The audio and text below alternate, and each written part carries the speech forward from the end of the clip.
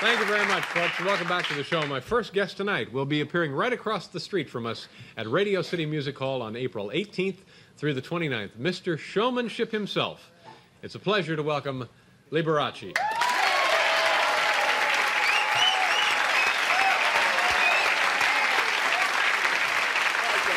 Hey, nice to see you. Good, how are you?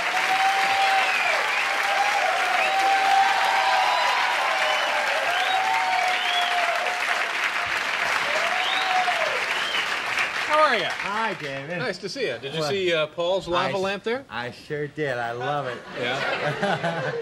That's how I started.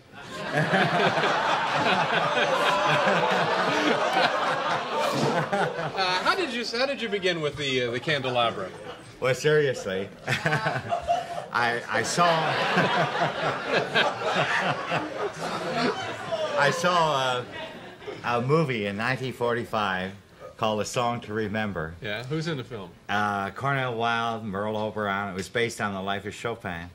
And the next day, I was opening at the Persian Room at the Plaza Hotel, following a very popular and famous uh, star, uh, Hildegarde, who that was her room.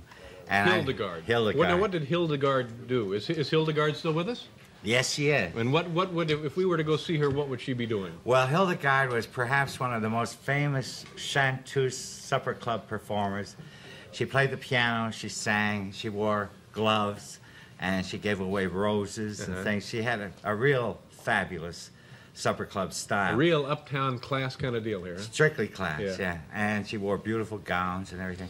So uh, I was following her at the Persian room, so I figured, well, she's got the gloves and the rose, I got to have some kind of a gimmick. So I saw the movie the day before I opened, and the candelabra was such an important prop used in the life of Chopin. I went to Third Avenue after seeing the movie, and I bought the prettiest candelabra I could find. And the next night I opened at the Persian room, and I had to had them turn off all the lights in the uh, Persian room, and then an attendant walked in with the candelabra and set it on the piano. Oh, that's nice. And it got the attention of the people. They thought somebody important's going to come, you know. and I walked in and I started to do my show, and it was an instant overnight trademark, and Yeah. I've had it ever since. Yeah, that's terrific. Let me ask you about your name. Now, you mentioned Hildegarde. Yeah. And then Paul and I were talking about the other night, Cher. See, I maintain if Cher wants to be a serious actress, she's got to come up with a last name. and and your name is Liberace. Now, was there was there ever another? Uh, Yes. Is that your real name? Was it part That's of my a name? family name. It's your family name. My father's name, Uh-huh. Liberace. And I was christened uh, Polish for Walter, which no one could pronounce, called Władziu. That's Walter in Władziu is- Polish. okay. And then my mother was a great fan of Rudolph Valentino, so my second name was Valentino. So I was Walter Valentino Liberace, and that took up the whole sign, you know. Yeah. So we dropped the first two names, and I legally became a one-name person. I vote with one name. I have a passport in one name, and sometimes I, uh, I have a little problem explaining it. You know, I said you got to have a first name. Yeah. You got it. I said why?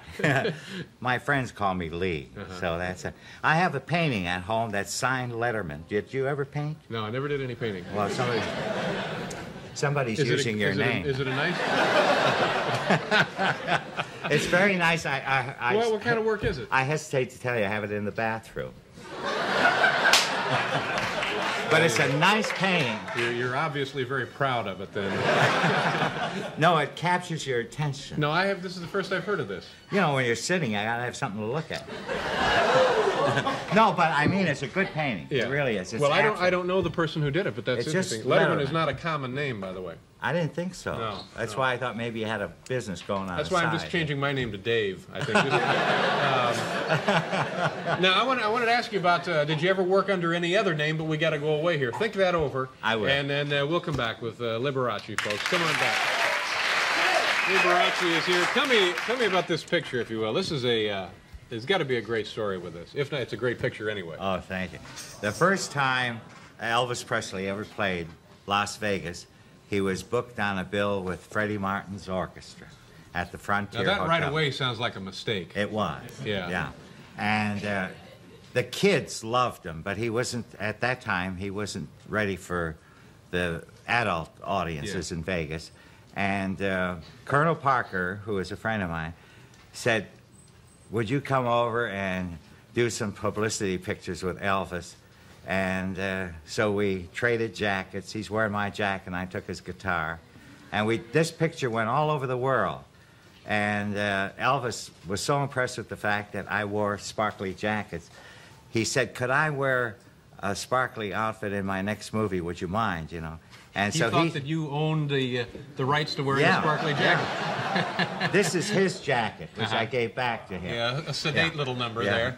And uh, in his next movie, he wore not only a gold lame jacket, but he had pants to match. Oh, heavens. Yeah. So you were, in a way, responsible for uh, a a change in his wardrobe. You know, we all ever since that picture was taken, we were very good friends. Every opening night, he would send me a guitar, all made out of Yeah. flowers, and I would send him on his opening night a piano, all made out of flowers. He was a real nice guy. What, what year was that was that taken? You know? That was taken in 1956. Yeah. Now you, you brought up the clothes and so forth, and you got some things here, uh, some items. I want to get back to the thing about another name that you may have Okay, worked under. But we have here a list uh, entitled Liberace the Collector. Do you mind if I share the folks, No. share with the folks some items on here? It's a collector. I'm here. anxious to hear. A $150,000 floor-length black diamond mink coat, lined with 40,000 two and a half carat Austrian rhinestones. What's that? Just for the house? a velvet cape covered with $60,000 worth of chinchilla, styled after the coronation robes of King George V and especially designed for Liberace's first Royal Command performance. My, oh my. Here's some jewelry. Is it all right if I read this on Sure. the... Okay. A candelabra ring with platinum candlesticks and diamond flames. Oh, you have that one I here. that one. Oh, can we show? Oh Sure. my goodness. It's this one over there. There you Okay. go. There you go. Oh. And what, what's that plain little thing on your small finger? Let's see. Oh, brother, what is that? That's uh, three tours of South Africa. At the end of each tour, uh, my promoters gave me a diamond ring, so I wanted to wear them all at once, but I oh, ran sure. out of well, fingers. yeah. So when I got home, I said, put those three rings together so I can wear them all at once. Let me see. Then- Tell me about this uh, giant purple stone here. What is that thing? well, this is probably the ring I'm most proud of. This was given to me for the Royal Command performance that you Now, it was originally a paperweight, though, wasn't it? Wasn't it? originally Actually- a doorstop, then a paperweight, and now. It was designed by the same jewelers who do all the jewelry for Her Majesty Queen Elizabeth. So I'm very proud of. I've never bought a piece of jewelry for myself. It was all been given. me. Con, uh, the Baron Hilton gave me the piano ring, which is air conditioned, Oh, heavens. That's unbelievable. and this is the piano watch which my manager gave me for my 35th anniversary in show business. Uh huh. And now I'm about to celebrate my 40th That's right, anniversary. 40th. Yeah. and this is a watch with my nickname on. This is I, I mean a yeah. bracelet with my nickname. We're going to have to get to some welders' masks for the audience. The, the glare here may be a little intense. Well, those are uh, some amazing pieces of jewelry. Tell me now uh, about ever having worked under a different name. Did that? Yes, I did. Uh, I didn't choose the name. I was about to uh, be soloist.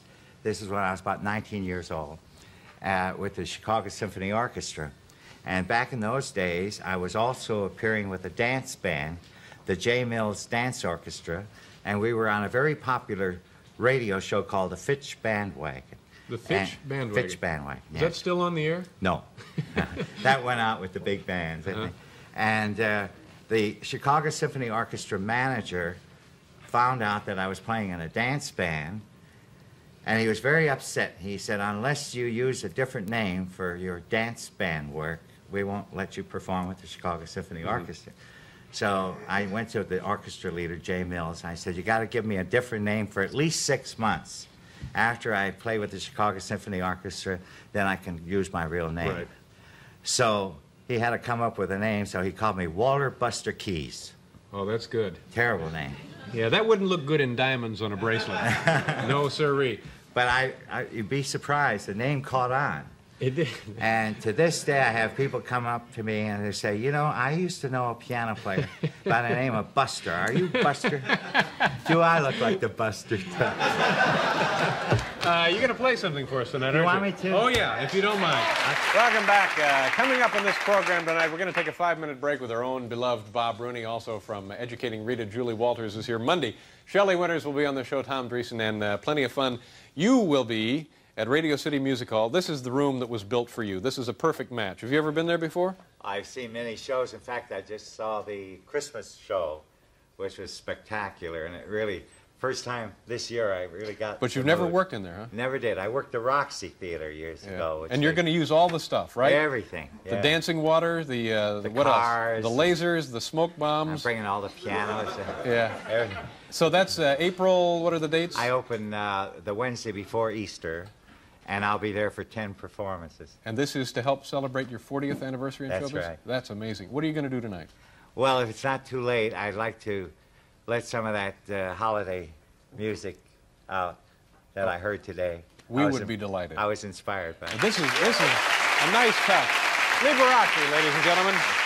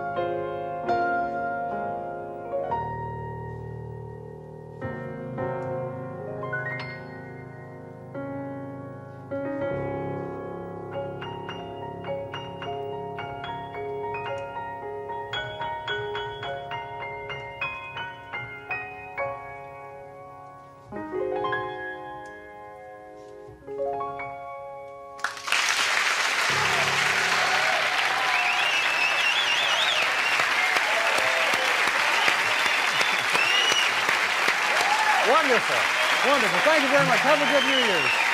We'll be right back, folks. Liberace.